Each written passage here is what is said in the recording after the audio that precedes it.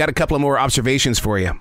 When is the best time to stop investing energy in our goals? I mean, every business and family has them, but is it time to stop trying so hard?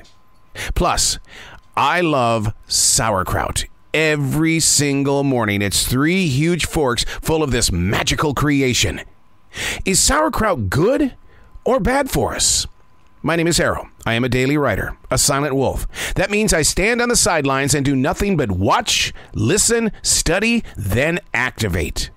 I call it the Daily Mess, a chronological walk through an everyday world. Yes, it's my morning writing.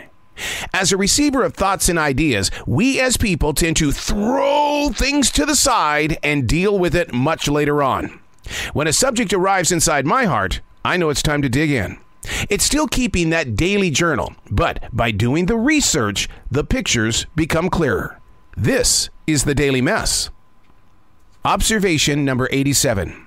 When is the best time to stop investing energy into a goal? To walk away, to break free.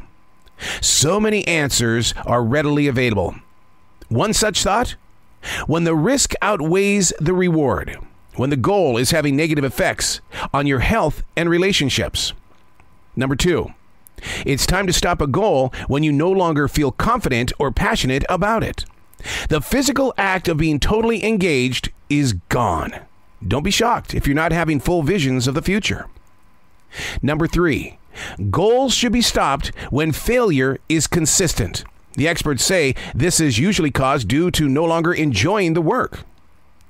Number four, stop trying to maintain a goal when you're expected to do something impossible.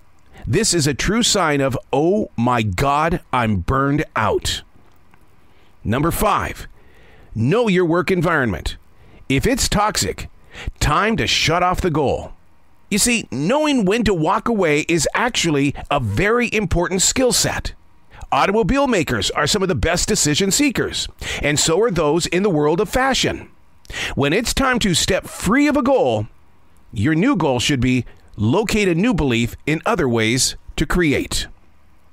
Hey, coming up next, I love sauerkraut. But is it a great probiotic? Hey, thanks for coming back to the Daily Mess. Observation number 88.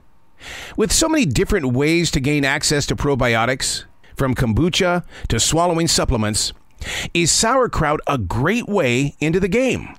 Yes, it is. The one time head of cabbage is beneficial for gut health. In fact, what it contains is far more abundant than the easy to go to yogurt. Two ounces of sauerkraut contains more probiotics than 100 capsules. Sauerkraut does amazing things for your digestion system, building your immune system, reducing the risk of certain diseases, and it helps with weight loss. But, but, but, but, store purchase sauerkraut may not offer the same benefits as homemade. Number one reason? Preservatives. And it's pasteurized to extend the shelf life. Pasteurization kills off beneficial bacteria. Now, I know what people say when you bring up the subject of sauerkraut. Ooh, I can't stand the flavor. Uh uh-uh, uh, I'm not going there. Well, there are some things that you can add to sauerkraut that will make it taste a hell of a lot better. I use soy sauce, it gives it a great texture. You can also add berries or raisins, ginger, lemon. Dill is another way to help rid that bitter taste when it comes to sauerkraut. Another one of my favorites is the good old fashioned bottle of mustard. I'm Arroe, and that's the Daily Mess.